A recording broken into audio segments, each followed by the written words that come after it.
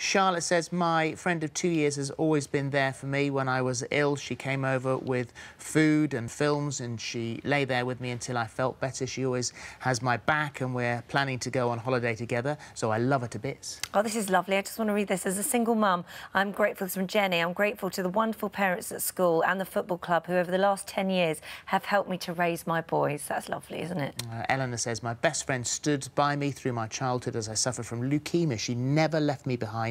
What a fantastic friend. And Zoe says, two of my best friends travelled over 300 miles to surprise me at my wedding. Thanks for those. those, really lovely stories. stories.